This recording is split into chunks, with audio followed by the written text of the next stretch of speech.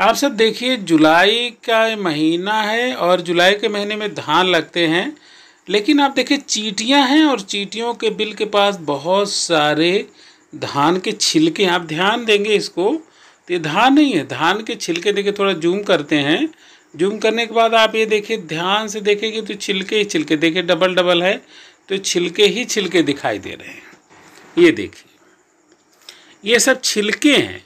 इसमें से जो चावल है, चावल इन्होंने निकाल लिया है। तो देखिए, चींटियाँ कितनी बुद्धिमान प्राणी हैं कि ये सब धान इकट्ठा करती हैं, चावल उसमें से निकाल के खा लेती हैं और बाद में फिर इन छिलकों को बाहर निकाल देती हैं। अब ये देखिए, आपको असर होगा कि जुलाई में अगर चीटियों के बिल के पास ये सब पाया जा रहा है तो इसका मतलब है कि इन्होंने अक्टूबर, नवंबर में इन्होंने धान को इकट्ठा किया होगा। तो बहुत ही चालाक और सामाजिक प्राणी है चींटियाँ। चींटियों को तो हमेशा कहा जाता है कि इनका संगठन बहुत मज़बूत होता है। और देखिए, पंक्तिबद्ध होकर चलती हैं, जबकि मानव समाज इतना पंक्तिबद्ध होकर नहीं चलता जितना चींटियाँ चलती हैं। तो ये इनकी सामाजिकता का और इनकी एकता का बहुत बड़ा प्रमाण है। अब दूसरा इनकी बुद्धिमत्ता का प्रमाण आप इसमें देख रहे हैं।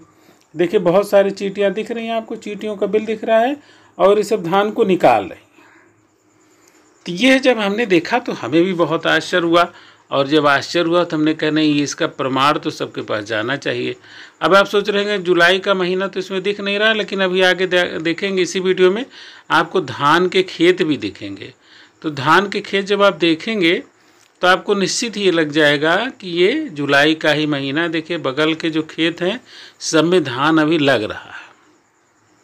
तो आप जानते हैं कि उत्तर भारत में जुलाई में ही धान ज़्यादातर लगते हैं और जबकि एमपी वगैरह में तो थोड़ा सा अगस्त तक ले जाते हैं, लेकिन उत्तर प्रदेश में मौसम हमेशा जुलाई से ही धान की रोपाई का होता है। तो उस समय तो धान की रोपाई हो रही है और इधर चीटियों के बिल से धान के छिलके निकल रहे हैं और चावल इसमें से खा लिया गया है। तो देखिए, चीटियों की बुद्धिमत्ता और उनकी एक ही बिल नहीं, देखिए हम दूसरे बिल में भी यही चीज़ दिखाते हैं। एक से हो जाता तो आपको लगता है कि नहीं नहीं, ये तो एक बिल में किसी तरह से कोई चमत्कार हो गया होगा। तो ये देखिए, दूसरा, तीन कुल मिलाकर चीटियों के तीन बिल हमने यहाँ देखे थे। तीनों बिल में ऐसा था।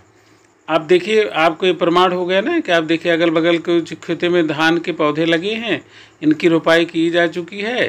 देखिए दूर दूर के खेतों में और अभी आप थोड़ा सा आपको नज़दीक जाके भी दिखा देते हैं ताकि आपको लगे कि हाँ ये धान के ही पौधे हैं कहीं घास तो नहीं है कि घास जमी हो और, हम उसको धान के पौधे कह दें।